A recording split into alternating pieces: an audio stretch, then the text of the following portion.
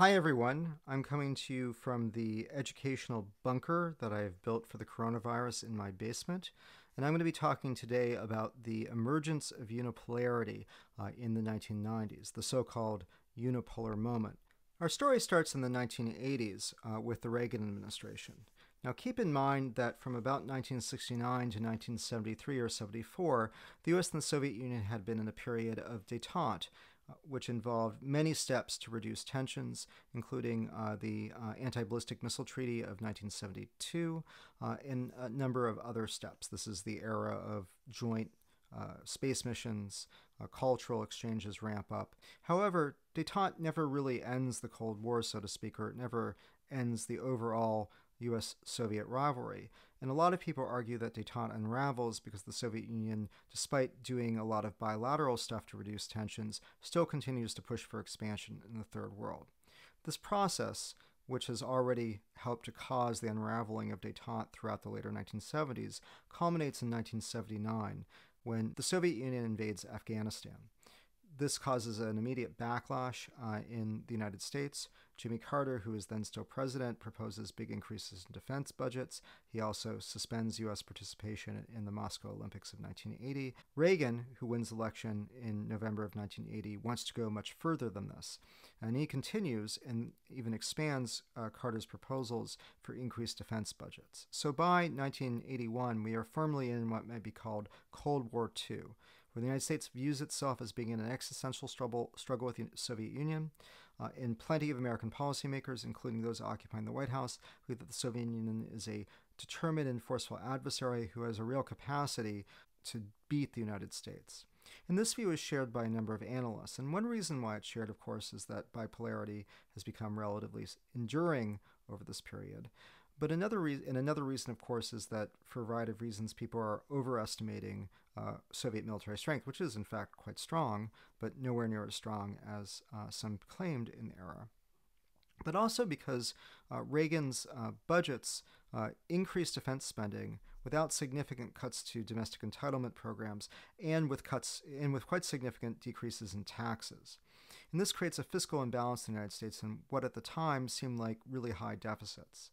Indeed, Robert Gilpin, in his 1981 uh, 1980 book, War and Change in International Politics, argues that the Soviet Union is a successful challenger of the United States.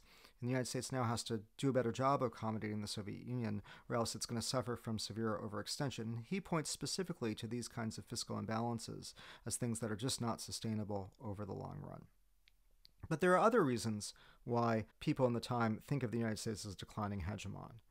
Among them is what we've talked about before in the class, which is the breakup and collapse of the Bretton Woods system in the early 1970s. Now, what we learned, I think, looking back, is that the collapse of the Bretton Woods system did not derail U.S. economic hegemony. And if people like Carla Norrlof are right, it actually may have enhanced U.S. global economic power. And nonetheless, the total implosion of an order that the U.S. had constructed at the end of World War II centered around its own economic and military power struck many as evidence of U.S. hegemonic decline, as well as some of the factors I've already talked about and some I'll talk about in a second. And so there was a notion that we were leaving a period of U.S. hegemony uh, and entering a period that might be more multipolar. This kind of argument uh, comes together in a work like Paul Kennedy's Rise and Fall of the Great Powers, which was published in 1987, in which you read an excerpt from, in which he argues that the United States is very much facing a condition like many great powers before of strategic overextension, of overinvestment in military power at the expense of domestic investment and domestic cultivation of its potential for growth. And then, unless the United States does something about that strategic overextension, uh, perhaps including getting its allies to share more of the defense burden, then it is doomed to the same fate as the great powers before it. One of the allies, which is much of the contention among burden sharing is centered, is Japan. And as you'll see in a moment, there are reasons why people think, uh, based on projections of economic growth, by the late 1980s that Japan is going to overtake the United States in the future. Japan has certainly has emerged as the second largest economic power in the world and is definitely uh, giving the United States a sense of inadequacy and a sense of decline. Indeed, people like Ezra Vogel in his book Japan is Number One look at Japanese management practices, Japanese corporate practices, the way that the J- Japan runs the, its own economy, everybody's well aware of these things, and there's a notion that maybe even the United States has to learn from Japan uh, unless it wants to be outcompeted. Certainly, Japanese cars are now starting to outcompete American cars globally. Japanese products are now are no longer cheap transistor radios. At the same time, because of Japan's newfound uh, economic strength, a number of, of uh, scholars and writers and politicians in Japan uh, start to really complain about U.S. pressure, not only U.S. pressure on burden sharing, but the pressure the United States is pushing on Japan to be more accommodating on the trade front and to allow, say, more U.S. goods to be sold within Japan. And this creates a backlash, you know, sort of along the lines of we are more successful than the United States is, and it just wants to pressure us and treat us uh, like a second-class state, like a client state, uh, and we're not going to put up with that. So this is kind of the atmosphere in the 1980s. Now, you can see two interesting things about this if, if you look at the trends in economic growth. Really, this one goes back to 1913 through 1990. The first thing you notice is that it is true that Japan is rapidly gaining on the United States. The other interesting thing here is that if you want to talk about the story that the Soviet Union is a successful peer competitor, which has established a durable bipolar system with the United States as the other great power, if you want to tell that story, this graph is a little bit weird for you because, of course, the Soviet economy is not doing as comparatively well as the advanced industrialized democracies. And indeed, the gap with the United States is not closing over this period, it's actually growing. However, this this whole thing uh, has to be put in the context of a kind of broader focus, kind of U.S. centric focus, because after, after World War II, with Europe's industrial capacity largely destroyed, but after World War II, the United States controls something on the order of 35% of world gross domestic product. I've seen estimates, perhaps using GNP, as high as 50% of the global economy. Uh, and this is inevitable that this is going to decline over time simply because other countries are going to, you know, as other countries recover from the devastation of the Second World War. Nonetheless, when you're talking about moving from 35% to by the 1980s, you know, 23, 20, 22%, that's a pretty big decline in overall economic power. And you can see why people are looking at the United States and thinking that it is a power in decline. Moreover, when you start thinking about attempts to measure global power that take into account both capacity and active military capabilities, like the so called CINC scores, um, you can see that according to, in fact, the most widely used uh, way of measuring national power or national capabilities um, by political scientists that the Soviet Union actually overtakes the United States uh, in 1973. And with that kind of thing, you can see how, despite the Soviet Union's lagging economy, it might be seen as a successful peer competitor. So, what changed? Well, our story is really about two things. The first is Japan. In the early 1990s, Japan begins to enter into its lost decade. That is a period of about 10 years with very middling uh, economic growth. So instead of being on trend to overtake the United States after the year 2000, uh, it actually falls off trend. Uh, and then later on, it will become caught in a demographic vise and be overtaken by China. But for now, in the 1990s, Japan does not, in fact, close the gap the way people expected. At the same time, the United States has an unexpected economic boom associated with new technology, particularly Silicon Valley uh, in the personal computer revolution. This is the era of the early internet, for example. And the United States does better than expected, while Japan does much worse than expected. So Japan is now off the table as a peer competitor to the United States.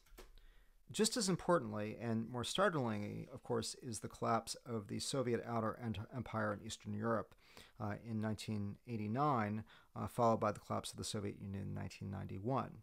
Now, you will recall from some previous discussions, and certainly I hope from your previous classes, that Gorbachev comes to power in the Soviet Union as a reformer. Uh, he doesn't believe that the Soviet system is working to deliver the goods, and he worries about its long term stability. Uh, he worries about its ability to produce enough goods in agriculture, etc., to take care of itself. And so he wants space to engage in political reforms, that is what comes to known as glasnost, and economic change uh, towards a more maybe social democratic economy, which is called perestroika. Now, in order to get the running room to implement these reforms, Gorbachev feels he needs to dial back tensions with the United States, and he pursues his new thinking in foreign policy and does peace overtures to the United States. In 1987, uh, Reagan has decided to finally decided to take Gorbachev up on that, and you get the Intermediate Nuclear Forces Treaty in Europe, and you get a period of time of sort of rapid uh, change in U.S.-Soviet relations. Now, by 1989 is its its restructuring is not going quite as well as its political openness, which is leading to all kinds of dissent and is sending signals throughout Eastern Europe uh, that it might be possible to challenge the regimes there. And indeed, there's an outbreak uh, that can, you can read the, the history yourself of exactly what happens and the way that the unrest and protest spreads. But essentially, there's a series of what are really nationalist uprisings against Soviet domination uh, and uprisings against Soviet client regimes, which are seen, of course, as repressive and not delivering the goods and all other kinds of things. So Gorbachev decides, for a variety of reasons, that he is not going to send the tanks in, and that he will allow the um, he will allow the uh, the the outer empire to go. This is, of course, the the scene from the Berlin Wall as the Berlin Wall uh, is uh, collapses and is destroyed. Uh, the, many of the revolutions are peaceful. This is the Velvet Revolution in Czechoslovakia. Some are less so, such as the uh, overthrow of Ceausescu in Romania. But by 1991, this nationalist wave that's overtaken Eastern Europe has, in fact, fed back on the Soviet Union itself and encouraged uh, nationalist protests and uprisings throughout the Soviet Union. In response, seeing things slipping away, seeing Gorbachev as a failure, angry over the loss of the Warsaw Pact, uh, there is a coup attempt by the old guard and hardliners against Gorbachev. During the coup, Gorbachev is largely sidelined, and Boris Yeltsin comes to prominence, uh, staring down uh, the coup. At the same time that Boris Yeltsin is doing this, he is, as I understand it, in negotiations or deal making with nationalists in places like Estonia, Lithuania, and Latvia. Uh, who are also opposing the coup and they want independence. And by December, all of this comes together uh, and the Soviet Union dissolves on Christmas uh, Day, I believe. Now, the dissolution of the Soviet Union leaves the United States without a peer competitor, and to understand what that means in practice and why that is actually one of the most important factors for the development of the unipolar era, you simply have to look at um, a crude measure, total uh, military spending. Now, you can see that U.S. military spending actually declines throughout the 1990s as a result of the so called peace dividend. So it's not that the United States is sort of still uh, ramping up its defense capabilities, or at least the amount of resources it's pumping into the defense sector. Instead, it's simply the collapse of the Soviet Union.